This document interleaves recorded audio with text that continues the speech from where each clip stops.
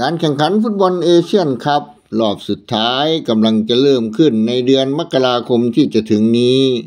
แต่ประเทศไทยยังไม่มีเอกชนรายใด ประมูลลิขสิทธิ์การถ่ายทอดสดฟุตบอลเอเชียนคัพ 2023 รอบสุดท้ายแม้แต่รายเดียว ล่าสุดมีรายงานว่าสาพันธ์ฟุตบอลแห่งเอเชีย AFC ได้ส่งหนังสือถึงสมาคมฟุตบอลแห่งประเทศไทย เพื่อแจ้งให้ทราบว่าจนถึงขณะนี้ไม่มีบริษัทเอกชนรายใดในประเทศไทย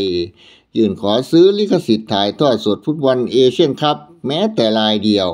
บริษัทเอเชียฟุตบอลกรุ๊ปประเทศกาตาร์บริษัทที่ดูแลด้านสิทธิประโยชน์ของ AFC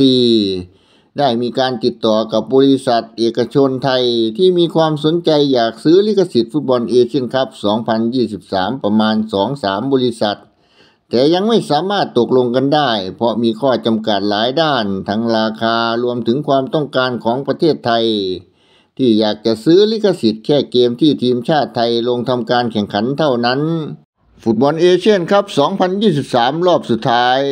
ที่จะจัดขึ้นที่ประเทศกาตาร์จะเปิดฉากขึ้นวันที่ 12 มกราคม 2567 ถึง 10 กุมภาพันธ์ 2567 ซึ่งทีมชาติไทยอยู่ร่วมกลุ่มกับซาอุดีอาระเบียคีร์กิสถานและโอมาน